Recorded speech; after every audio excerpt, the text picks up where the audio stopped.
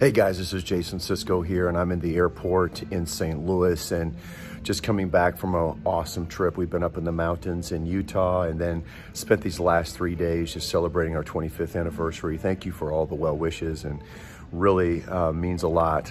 So many uh, kind words and remarks.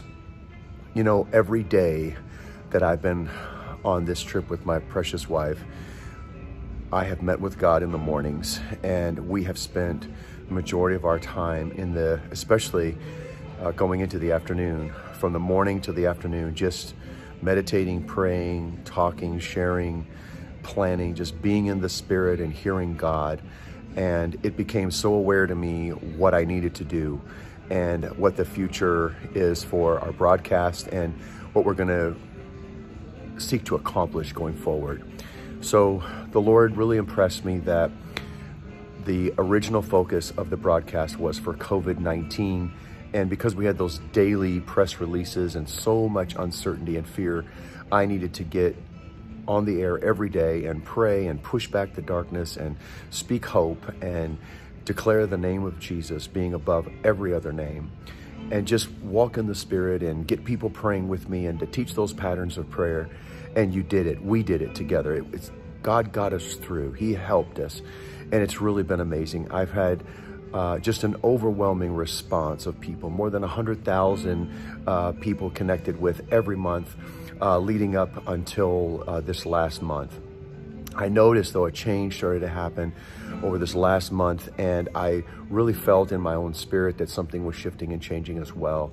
And so I took that shift uh, uh, of people not connecting as often or not as much as something that I needed to evaluate where we were. And so I told you we were going to take some time, we're going to rest, and we're going to think about it. So the Lord really spoke to me that there's going to be two primary focuses. We're going to have a local church focus and a global church focus.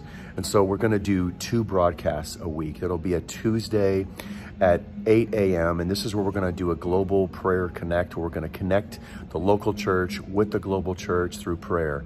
There's going to be three primary ideas here that we're going to be praying about, and that is visitation, transformation, and multiplication.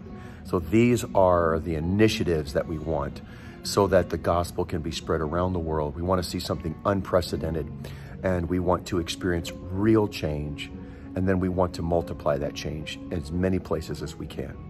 For the local church, we're going to be doing more prayer walks. We'll be doing connections with our local church triumphant family and we're going to do as much as we can to really saturate the greater Houston area uh, with prayer, intercession, spiritual warfare.